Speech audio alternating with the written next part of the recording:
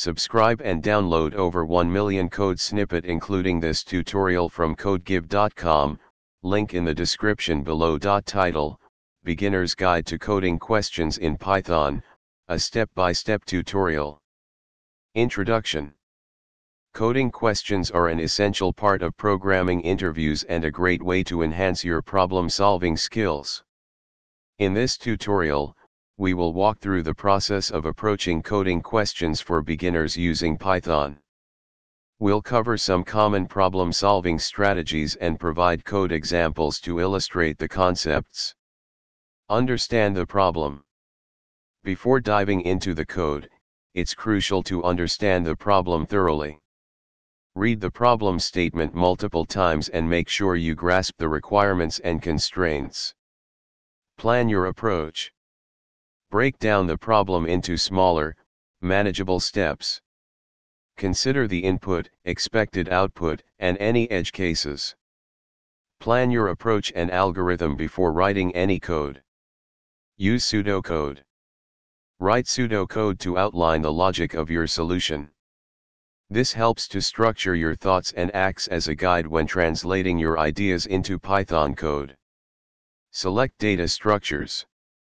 Choose appropriate data structures based on the problem requirements. Common data structures in Python include lists, sets, dictionaries, and tuples. Make sure to leverage built-in functions and methods. Write Python code.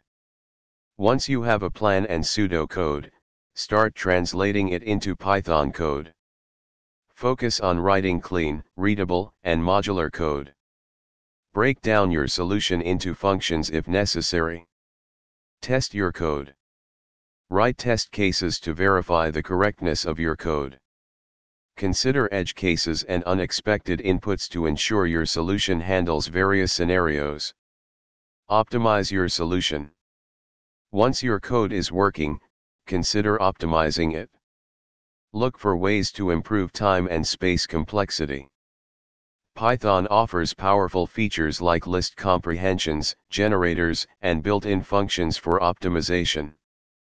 Handle edge cases. Ensure that your solution handles edge cases gracefully. This includes scenarios where input is empty, null, or outside expected bounds. Refactor and improve. Refactor your code for clarity and conciseness.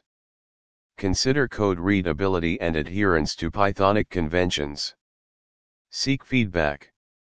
If possible, share your code with peers or mentors to get feedback.